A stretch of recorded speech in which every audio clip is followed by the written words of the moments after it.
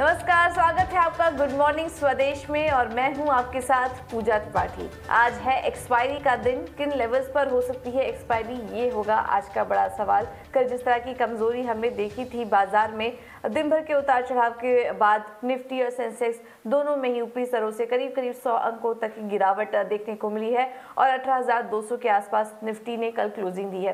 तो आज के लेवल्स क्या रहेंगे किन स्तरों पर आपको नज़र रखनी है इस पर भी आ, हम बात करेंगे। हमारे साथ मार्केट पर स्ट्रैटेजी देने के लिए ब्रजेश सिंह जुड़ेंगे और नतीजों खबरों वाले शेयर्स की पूरी डिटेल लेंगे शरद से। इसके अलावा ब्रोकरेज हाउस के रडार पर आज कौन कौन से स्टॉक्स हैं ये ख्याति हमें समझाएँगे। और कुछ और भी नतीजों पर हम बात करेंगे क्योंकि कल बाज़ार बंद होने के बाद भी ढेर सारे नंबर्स देखने को मिले हैं। इसके अलावा एशियन मार्केट से किस तरह का इस वक्त संकेत मिल रहा है, ये भी हम बात कर लेते हैं। उसके बाद समझेंगे कि ग्लोबल मार्केट में इस वक्त किस तरह की हलचल हलचल देखने को मिल रही है। एक्सजेक्स निफ्टी पर देखेंगे तो हल्की बढ़त के साथ सत्रह अंक ऊपर इस वक्त कारोबार कर रहा है। निकई में देखिए, लेकिन यहाँ पर कमज़ोरी है। करीब 280 अंकों की कमज़ोरी निकई में देखने को मिल रही है। हैंगसेंग भी सपाट ही है और शंघाई की भी कमज़ोर शुरुआत देखने को मिल रही है। तो एशियन मार्केट से अगर शुरुआत करेंगे तो सुस्त शुरुआत से मिले जुले संकेत इस वक्त देखने को मिल रहे हैं एशियन मार्केट से। देखना होगा आगे किस तरह का डेवलपमेंट यहाँ पर देखने को मिलता है।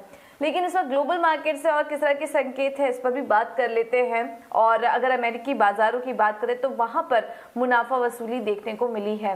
हमने देखा था कि लगातार अच्छे नतीजों के दम पर शानदार तेज़ी बनी हुई थी अमेरिकी बाजारों में भी, लेकिन अब उस पर ब्रेक लगा तीन दिनों की तेज़ी पर। और डाउ में देखी करीब करीब दो सौ अंकों की गिरावट देखने को मिली है, और एसएनपी में भी दो दिनों की तेज़ी के बाद आधा परसेंट की गिरावट के साथ कल एस का मार्केट भी बंद हुआ। तो ये जो अच्छे नतीजे आ रहे थे, उसके बाद हमने देखा कि कल अमेरिकी बाजारों में मुनाफा वसूली देखने को मिली है। अगर एस एम पी कंपनियों की बात करें तो 80 परसेंट नतीजे जो थे, वो अनुमान से बेहतर देखने को मिले हैं, जो कि इस बाज़ार को लीड भी कर रहा था। और अब अगला जो ट्रिगर है, वो जीडीपी आंकड़ों का है। तीसरी तिमाही की जीडीपी के अनुमान कैसे रह सकते हैं, इस पर भी निवेशकों की नज़र रहेगी। लेकिन एक बार एक आपको आंकड़े बता देते हैं। अगर अमेरिकी बाजारों में तेज़ी की बात करें तो देखिए डाउ जोन्स में अब तक अक्टूबर में पाँच परसेंट तक की तेज़ी देखने को मिल चुकी है। नेस्डेक भी करीब साढ़े पाँच परसेंट चढ़ा है। और एस एम पी में भी करीब साढ़े पाँच परसेंट की तेज़ी यहाँ पर देखने को मिली है। तो शानदार तेज़ी थी, लेकिन कल मुनाफा वसूली हावी थी अमेरिकी बाजारों में। वहीं दूसरी तरफ़ कच्चे तेल की बात करें तो वहाँ पर भी कल नरमी देखी गई है।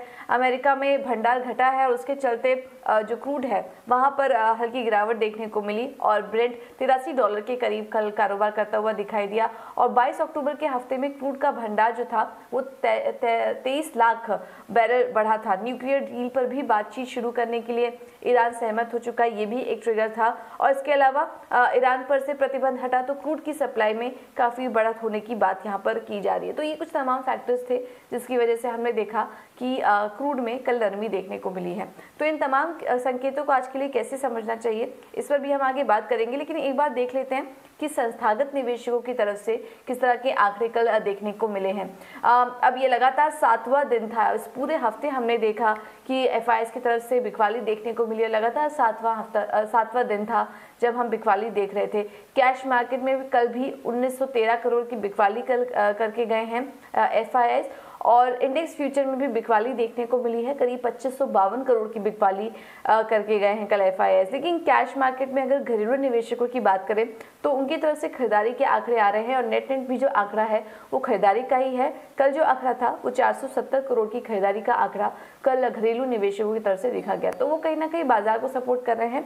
लेकिन बाकी जो तमाम इस वक्त क्यूज मिल रहे हैं, जो संकेत आ रहे हैं, वो हल्के, सुस्त संकेत इस वक्त देखने को मिल रहे हैं। लेकिन एक्सपायरी का दिन है भारतीय बाजारों के लिए अर्निंग्स भी इस वक्त एक एक करके आ रही हैं। बड़ी दिग्गज कंपनी के अर्निंग्स आ रहे हैं। तो उस पर भारतीय बाज़ार कहीं ना कहीं रिएक्ट करता हुआ नज़र आ रहा है और ऐसे में एक्सपायरी का समय भी है। तो भारतीय बाजारों के लिए रणनीति क्या लेकर चलनी चाहिए, इस पर बात कर लेते हैं और हमारे साथ इस वक्त ब्रिजेश सिंह जुड़ चुके हैं। ब्रिजेश जी गुड मॉर्निंग बहुत बहुत शुक्रिया समय देने के लिए। हम तमाम संकेतों को देख रहे थे इस वक्त। आज और आज एक्सपायरी भी है। तो इसको देखते हुए आज के लिए निफ्टी और बैंक निफ्टी के लिए कौन से लेवल्स इंपॉर्टेंट होंगे?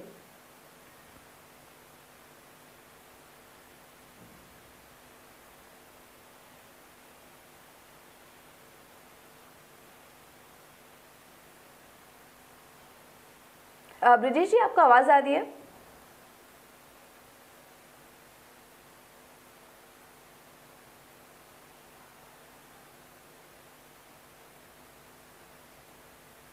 ओके चलिए ब्रिजेश जी से संपर्क नहीं हो पा रहा है हमारा।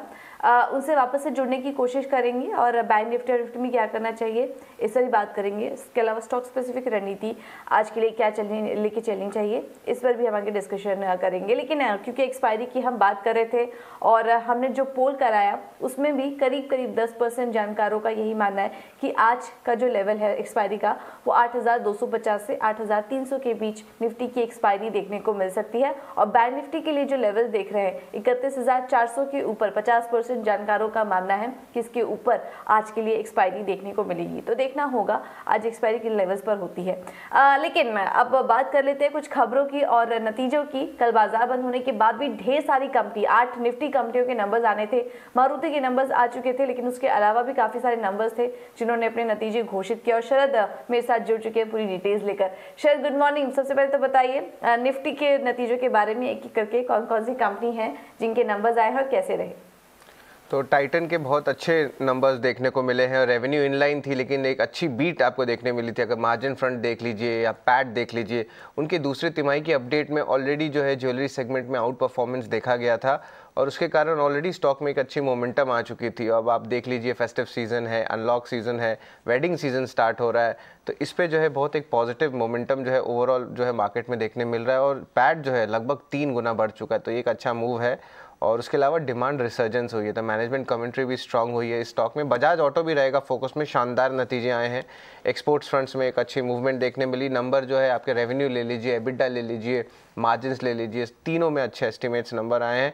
और याद रखिएगा कंपनी एक इनकॉर्पोरेट भी कर ली, एक अपनी फाइनेंस की कंपनी एनबीएफसी ताकि वो बिज़नेस कर पाएँ, आपके जो है सोल फाइनेंसिंग कर पाएँ अपने प्रोडक्ट्स के लेकर तो एक इंपॉर्टेंट डेवलपमेंट है। आईटीसी के भी नतीजे आए थे। देर रात को तो ऑलमोस्ट आईटीजी के लार्जली इनलाइन नंबर्स आए हैं। आप सारे पैरामीटर्स देख लें रेवेन्यू देख लीजिए पैड देख लीजिए मार्जिन देख लीजिए। सिगरेट वॉल्यूम्स में जो है, आपकी एक अच्छी रिकवरी देखने मिली है और जो वॉल्यूम्स है जो फ़र्स्ट वेव ऑफ़ पैंडमिक से अगर कंपेयर करें सेकेंड वेव में तो अच्छी रिकवरी आई है ओवरऑल सिगरेट वॉल्यूम्स की। पेपर बोर्ड की जो वॉल्यूम्स है, उनमें भी ऑलमोस्ट लाइफ टाइम हाई पे है और ऑक्यूपेंसी जो होटल के बिज़नेस है, उसमें भी लगभग तीन गुना बढ़ोतरी हुई है। एल में लगभग इनलाइन सेट ऑफ़ नंबर्स आए थे और रेवेन्यूज़ जो है सब पैट एबिटा ये सब इनलाइन में रहे हैं और याद रखिए ऑर्डर्स में भी एक अच्छी बढ़ोतरी हुई है और आगे जो ऑर्डर आउटलुक है, स्पेशली जो इंफ्रा ऑर्डर्स आने वाले हैं, उस पर मैनेजमेंट बुलिश कमेंट्री दिखाई है। इंडस एंड बैंक के नतीजे थोड़े मिक्सड आए हैं नेट इंटरेस्ट इनकम थोड़े बिलो एस्टिमेट्स आए, लेकिन पैट में जो है अबव एक्सपेक्टेशंस का था, और एनपीए थोड़ी सी एसेट क्वालिटी में थोड़ी सी पेन देखने मिली है। अब थोड़े से वीक नतीजे की बात कर लेते हैं, जिसमें जो आज स्टॉक में दबाव देखने मिल सकता है, वो है एसबीआई लाइफ इंश्योरेंस तीनों पैरामीटर में नेट प्रीमियम ले लीजिए पैट ले लीजिए, ये सब बिलो एनालिस्ट एस्टिमेट्स आए हैं। सॉल्वेंसी रेशियो जो है मोरलेस स्टेबल रही है, लेकिन जो थर्टीन मंथ परसिस्टेंसी रेशियो है, उसमें थोड़ी सी इंप्रूवमेंट देखने मिली है। और आखिरी स्टॉक के बारे में बात करेंगे, अदानी पोर्ट्स। उनके जो रेवेन्यू ले लीजिए पैट ले लीजिए एबिटा ले लीजिए सबने एस्टिमेट्स मिस किया है। पैट में लगभग 31 परसेंट का डाउन टिक देखने मिला है। और मार्जिन में भी लगभग आप सोच सकते हैं ऑलमोस्ट 16 परसेंट डाउन है 64 परसेंट पे आया है। तो ये ओवरऑल निफ्टी के नतीजे हैं, जहाँ पे आज इम्पैक्ट देखने मिलेगा पूजा।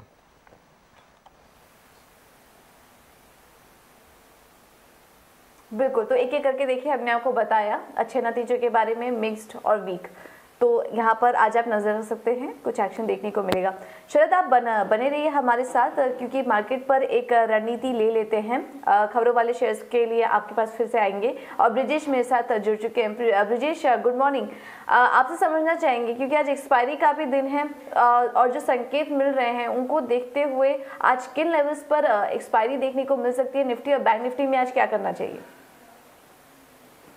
So okay good morning Pooja ji देखिए नो डाउट कि आज का सत्र इम्पोर्टेंट है क्योंकि एक मंथली uh, एक्सपायरी है और उस उसके लिहाज से uh, आपको वॉलिडिटी देखने को मिलेगी और जिस हिसाब से इसमें इंडिकेशन दिख रहा है मेरे को कि अगर हम निफ्टी की अगर हम बात करें स्पेशली तो निफ्टी में थोड़ा दबाव है as compare to bank Nifty से। और अगर आप देखेंगे कि ऊपर के सत्र में लगभग अठारह के आसपास में एक एक रेजिस्टेंस बना हुआ है उसमें। हालाँकि नो डाउट अगर आप सपोर्ट की बात करेंगी तो सत्रह हज़ार आठ सौ का सपोर्ट है और उसके ऊपर साइकोलॉजिकल लेवल अठारह हज़ार तीस से लेके अठारह हज़ार सत्तर का है। तो ये दो लेवल महत्वपूर्ण है नीचे के लिए तो मेरा ऐसा मानना है कि कंसोलिडेशन सेशन रहेगा, लेकिन ऊपरी लेवल पे बिकवाली देखने को मिलेगी। तो एक्सपायरी की अगर मैं कहूँ बात तो एक्सपायरी मेरे को लगता है कि मोटा मोटा अठारह हज़ार दो सौ, अठारह हज़ार दो सौ चालीस के बीच में आपको निफ्टी में देखने को रहेगी। रही बात बैंक निफ्टी की तो चार्ट के अनुसार बैंक निफ्टी और निफ्टी का अगर मैं कंपेयर करूँ तो वो आउट परफॉर्म कर रहा है। No doubt overall private sector bank और पीएसयू बैंक ने, में जो गतिविधि देखने को मिली है, वो पॉजिटिविटी ही दर्शाती है। और इसका मेरा मानना ये है कि इसका 39,900 और 40,500 के आसपास में बहुत अच्छा सपोर्ट है। तो निचले स्तर पर बाइंग देखने को मिलेगी जो कि निफ्टी को एक सपोर्ट देगा। ऊपरी लेवल में लगभग इकतालीस हज़ार तीन सौ और इकतालीस सात सौ पचास ये लेवल एक महत्वपूर्ण लेवल रहेगा रेजिस्टेंस के लिए।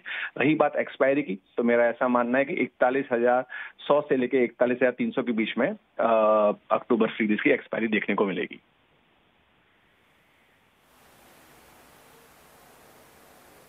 ओके तो एक्सपायरी के लिए लेवल्स भी आपको बता दिए गए। निफ्टी बैंक में निचले स्तरों से एक बाइंग देखने को मिल सकती है। ब्रजेश, आपसे आज के लिए ये भी समझना चाहेंगे कि ट्रेडिंग स्पेसिफिक रणनीति आज क्या अपना के चले। तो देखिए पूजा जी दो कॉल हैं। ऐसा मेरा ये मानना है कि बैंक निफ्टी आउट परफॉर्म करेगा निफ्टी को पर इसका मतलब ये नहीं कि सारे बैंकिंग स्टॉक्स में तेज़ी देखने को मिलेगी।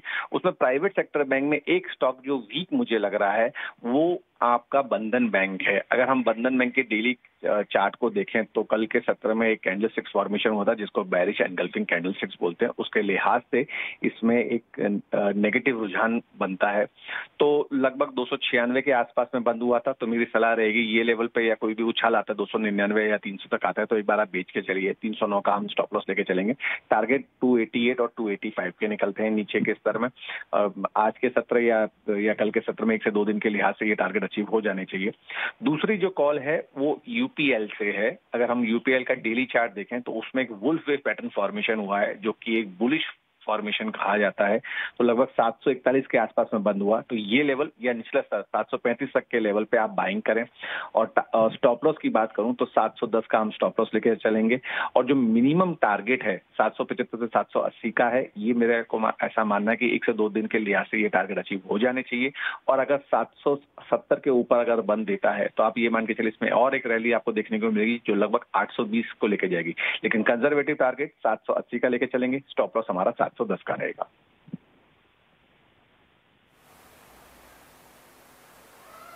ओके okay, ब्रिजेश बहुत बहुत शुक्रिया हमारे साथ जुड़ने के लिए रणनीति सुझाने के लिए। तो बंधन बैंक में कमज़ोरी आज बढ़ सकती है। नज़र रखिए इस पर। और यूपीएल में खरीदारी करने की राय आपको दी जा रही है। अब आगे बढ़ते हैं और खबरों वाले शेयर्स जान लेते हैं। और इसको बताने के लिए शरद हमारे साथ बने हुए हैं। शरद बताइए।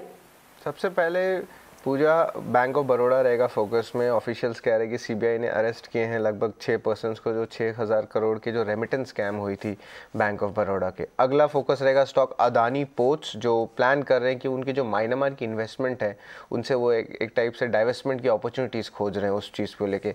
उसके अलावा एनसीएलटी ने एडमिट किया है येस बैंक की पटिशन डिश टीवी के अगेंस्ट जो होल्ड कर पाए जीएम को और इन्वेस्को ने एनसीएलटी को कहा कि वो अपील कर सकते हैं जी के केस में अगली हियरिंग है नवंबर 16 को। फ्यूचर रिटेल भी रहेगा फोकस में। वो चैलेंज कर रहे हैं आपके सिंगापुर के आर्बिट्रेशन रूलिंग को जो दिल्ली के हाई कोर्ट ने दी थी। और वो चाहते हैं कि वो जो बैन है वो लिफ्ट करे ताकि वो डील जो है आगे बढ़ पाए रिलायंस के लिए। एचसीएल टेक जो है एक नया प्लेटफॉर्म स्टार्ट किए हैं वाईफाई सर्विसेज़ के लिए और वेदांता भी रहेगा फोकस में, क्योंकि वो इंटेंशन दिखा रहे हैं कि वो डाइवेस्ट करेंगे अपनी कॉपर माइन जो ऑस्ट्रेलिया में है। तो लगभग एक अच्छा पे आउट लगभग 100 से लेकर 150 मिलियन डॉलर्स तक का एक पे आउट एक्सपेक्टेशन है और आखिर में जुबलेंट फ़ूड वर्क्स रहेगा फोकस में। हैशटैग लॉयल्टी में लगभग 35 परसेंट हिस्सेदारी जो है खरीदेगी कंपनी और ये लगभग 25 करोड़ का इन्वेस्टमेंट रहेगा। तो ये सारे न्यूज़ रहेंगे आपके खबर के दम पर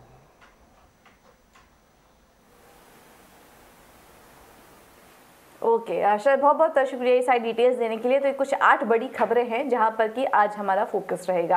आ, लेकिन चलिए अब आगे बढ़ते हैं और कुछ और भी नतीजों पर फोकस कर लेते हैं। आज आने वाले नतीजों में मेरे को आज अपने आ, आ, दूसरी तिमाही के नतीजे जारी करेगा और नतीजे कैसे रह सकते हैं ये भी समझ लेते हैं। और ये बताने के लिए मेरे साथ मेरी सहयोगी विनी जुड़ चुकी हैं। विनी गुड मॉर्निंग बताइए मेरे के नतीजों से क्या अनुमान है?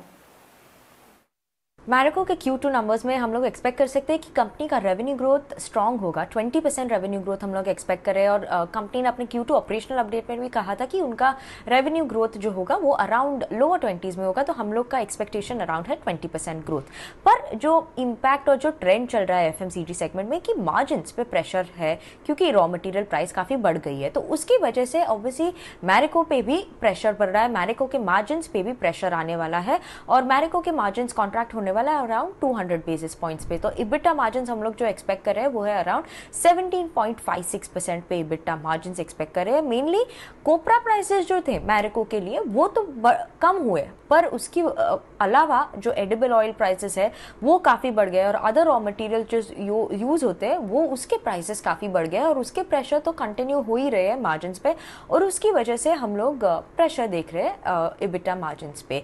उसके अलावा उसकी वजह से प्रॉफिट लाइन जो बॉटम लाइन भी होगी, उसमें भी हम लोग सिर्फ़ सिक्स परसेंट ग्रोथ ही एक्सपेक्ट कर रहे हैं, ये time on a year on year basis तो टॉप लाइन ग्रोथ काफ़ी स्ट्रांग है बॉटम लाइन ग्रोथ और मार्जिन थोड़े लो लग रहे हैं ये टाइम अराउंड ओवरऑल जो हम लोग फैक्टर्स देखेंगे कमेंट्री में देखेंगे, क्या एक्सपेक्ट करेंगे, कि आउटलुक क्या दे रही है कंपनी अपने रॉ मटेरियल पे, वो उसका प्राइसिंग अभी क्या है प्राइसिंग स्ट्रैटेजी क्या होने वाली है कंपनी की आगे जाके? प्लस मार्जिन का क्या एक्सपेक्टेशन है? उनकी क्या एक्सपेक्टेशन है आगे जाके मार्जिन पे? वो इंपॉर्टेंट uh, फैक्टर है देखने के लिए कमेंट्री में। उसके अलावा इंटरनेशनल सेगमेंट्स ने कैसे परफॉर्म किया है? कोपरा प्राइसिंग कैसे है? रॉ मटेरियल प्राइसिंग अभी कैसी है? और न्यू प्रोडक्ट पाइपलाइन क्या है? मैरिको uh, में वो फैक्टर्स uh, हम लोग वॉच आउट करेंगे मैरिको के क्यू टू अर्निंग्स में। Okay okay. तो ये थे मेरिको के नतीजों का अनुमान। मार्जिन पे नज़र रखिए, क्योंकि तिमाही दर तिमाही यहाँ पर सुधार देखने को मिल सकता है, लेकिन सालाना आधार पर नंबर्स थोड़े कमज़ोर देखने को मिल सकते हैं। और बाकी सारे नंबर्स और जो फैक्टर्स होंगे उस पर भी हमारी नज़र बनी रहेगी। बहुत बहुत शुक्रिया विनी सारी डिटेल्स देने के लिए। अब आगे बढ़ते हैं और कुछ और भी ट्रेडिंग कॉल्स पर नज़र डाल लेते हैं। ब्रिजेश ने हमें बंधन बैंक और यूपीएल में ट्रेडिंग की रणनीति सुझाई थी। इसके अलावा निर्मल बैंक सिक्योरिटीज़ की तरफ़ से भी दो कॉल्स आ रही हैं और दोनों में ही खरीदारी करने की राय है। पहला है टाटा मोटर्स यहाँ पर खरीदारी करके चलिए 530 के लक्ष्य के लिए स्टॉप लॉस होगा 480 का और दूसरा जो कॉल है वो है एस बी में आज खरीदारी करने की रणनीति ये सुझा रहे हैं। 540 के लक्ष्य के लिए स्टॉप लॉस होगा 510 का। ये है नेरल सिक्योरिटीज़ की कॉल और इसके अलावा सेंट्रम ब्रोकिंग की तरफ़ से भी कुछ कॉल्स आई हैं। और इसमें एक आईटी स्टॉक्स इन्फोसिस में खरीदारी करने की राय देख रहे हैं 1780 के लेवल्स के लिए। और जो दूसरा स्टॉक है, वो है सनफार्मा आठ सौ पचपन की टारगेट के लिए आप खरीदारी करके चल सकते हैं इसमें और स्टॉप लॉस होगा 810 का। तो तमाम जितने भी स्टॉक्स आज ज़्यादातर जो रणनीति मिल रही है, वो लार्ज कैप स्टॉक्स की तरफ़ मिल रही है। तो यहाँ पर आज आप नज़र रखिए टाटा मोटर्स एस इन्फोसिस और सनफार्मा इनमें है आज ट्रेडिंग में खरीदारी करने के मौके आपको मिल देखने को मिल रहे हैं।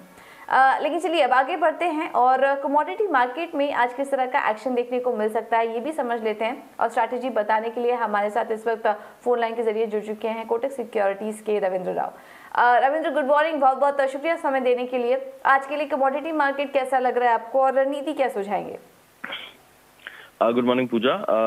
मेरे हिसाब से जो प्रेशियस मेटल्स पैक है आई थिंक उस पर काफ़ी सारा एक्शन है. इनफैक्ट क्रूड ऑयल में भी हमने कल के सेशन में एक अच्छा एक्शन आते हुए देखा था. तो मेरी स्ट्रैटेजी इन तीनों कमोडिटीज में ही रहेगी. अगर पहले प्रेशियस मेटल्स की बात करें तो प्रेशियस मेटल्स में हमने एक हल्का प्रॉफिट बुकिंग देखा था कल के सेशन में. क्योंकि जो यूएस कंज्यूमर कॉन्फ्रेंस डेटा है, वो पॉजिटिव आया था इस वीक में. एंड वो थोड़ा सा प्रेशराइज किया है, क्योंकि डॉलर इंडेक्स में हमने थोड़ा सा एक बढ़त देखा है और यील्ड्स में भी बॉन्ड यील्ड्स में भी थोड़ा सा एक अप मूव देखा था। बट मेरे हिसाब से डॉलर इंडेक्स और यील्ड्स दोनों ही थोड़े से थोड़े से साइडवेज रहेंगे क्योंकि फ़र्स्ट वीक में we have non farm payrolls as well as जो एफओएमसी मीट है वो है। तो मेरे हिसाब से उससे थोड़ा साइडवेज रहेगा और ये गोल्ड के लिए थोड़ा सपोर्टिव रह सकता है। एमसीएक्स पर uh, जो एमसीएक्स गोल्ड है वो around forty seven thousand six hundred का एक स्ट्रॉन्ग सपोर्ट पर है जो कि two fifty two day moving average का सपोर्ट है। अगर उसे ब्रीच नहीं करता तो मेरे हिसाब से प्राइसेस uh, में फिर से एक बार हम उछाल देख सकते हैं towards forty eight two hundred forty eight three hundred इसीलिए हमने एक बाइंग स्ट्रेटेजी रिकमेंड की है towards forty seven thousand eight hundred और टारगेट हमारा रहेगा forty eight thousand two hundred three hundred का एंड स्टॉप लॉस रहेगा फोर्टी सेवन सिक्स हंड्रेड का। सिमिलरली सिल्वर में भी हमने एक अच्छा एक्शन देखा था। हालाँकि इंडस्ट्रियल मेटल्स में जो कमज़ोरी आई है, उससे थोड़ा सा थोड़ा सा सबसाइड हुआ है मार्केट लेकिन एक करेक्शन रिक्वायर्ड था क्योंकि काफ़ी अच्छा मोमेंटम हमने सिल्वर में देखा था। बट सिल्वर में ऐसा लगता है कि जब तक कि sixty four thousand five hundred sixty four thousand hold है। आई थिंक तब तक के लिए एक पॉजिटिव uh, मोमेंटम रहेगा और हमारा जो टारगेट है वो around sixty five thousand five hundred का है। फाइनली uh, uh, अगर क्रूड की बात करें तो क्रूड में कल इन्वेंट्री uh, डेटा की वजह से uh, एक प्रेशर आते हुए देखा है। काफ़ी अच्छा बिल्डअप दिखाया था कल के इन्वेंट्री uh, रिपोर्ट में। और हमें लगता है कि ये जो फॉल है वो कंटिन्यू रह सकता है। Six thousand one twenty six thousand eighty तक के लेवल्स पॉसिबल है एमसीएक्स पर। इसीलिए हमने सेल की रिकमेंडेशन दी है। अगर राइस आता है toward six two four zero six two six zero एक बार शॉर्ट करके चल सकते हैं for a target of six one two zero और जो इसका रेजिस्टेंस है वो सिक्स थ्री टू ज़ीरो का है, उसका स्टॉप लॉस मेंटेन कर सकता है। जी पूजा। ओके ठीक है। तो गोल्ड सिल्वर और कच्चे तेल में ये रणनीति आपको सुझा दी गई है। बहुत बहुत शुक्रिया रविंद्र हमारे साथ जुड़ने के लिए और ये रणनीति हमारे दर्शकों के लिए को सुझाने के लिए। तो यहाँ पर नज़र रखिए लेवल्स स्टॉप लॉस भी आपके स्क्रीन पर लगातार फ्लैश हो रहे हैं। लेकिन चलिए अब आगे बढ़ते हैं और ब्रोकरेज हाउस के रडार पर आज कौन से स्टॉक्स हैं ये भी समझ लेते हैं। मेरे साथ मेरी सहयोगी ख्याति जुड़ चुकी हैं बताने के लिए। ख्याति गुड मॉर्निंग बताइए। सी एल एस ए ने एल एन टी पे खरीदारी की राय बरकरार रखी है। लक्ष्य रखा है ट्वेंटी टू फिफ्टी रुपीज़ पर शेयर का। जेपी मॉर्गन ने एल एन जेपी मॉर्गन ने एल एन टी पे ओवरवेट की रेटिंग बरकरार रखी है। लक्ष्य रखा है वन नाइन्टी रुपीज़ पर शेयर का। सी एल एस ए ने एस बी आई लाइफ पर खरीदारी की राय बरकरार रखी है। लक्ष्य ऊपर करके एटीन हंड्रेड रुपीज़ पर शेयर कर दिया है। जेपी मॉर्गन ने एस बी आई लाइफ पे ओवरवेट की राय बरकरार रखी है। लक्ष्य रखा है थर्टीन एटी रुपीज़ पर शेयर का। मॉर्गन स्टैनली ने इंडसिन बैंक पर ओवरवेट की राय बरकरार रखी है। लक्ष्य रखा है फिफ्टीन हंड्रेड रुपीज़ पर शेयर का। मॉर्गन स्टैनली ने टाइटन पर खरीदारी की राय बरकरार रखी है। लक्ष्य रखा है two thousand five hundred and one rupees पर शेयर का। नोमुरा ने इंडसिन बैंक पे खरीदारी की राय बरकरार रखी है। लक्ष्य रखा है थर्टीन सिक्सटी रुपीज़ पर शेयर का। मॉर्गन स्टैनली ने आईटीसी पर ओवरवेट की राय बरकरार रखी है। लक्ष्य रखा है two fifty rupee two fifty one rupees पर शेयर का। सी एस ने मारुति पर आउट परफॉर्म की रेटिंग बरकरार रखी है। लक्ष्य रखा है eighty seven fifty nine rupees पर शेयर का। जीएस ने अदानी पोर्ट पर खरीदारी की राय बरकरार रखी है। लक्ष्य रखा है सेवन एटी रुपीज़ पर शेयर का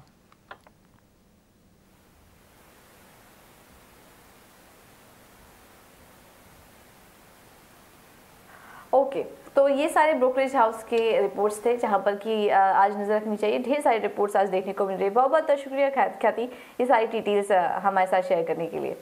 तो गुड मॉर्निंग स्वदेश में, मुझे दीजिए इजाज़त।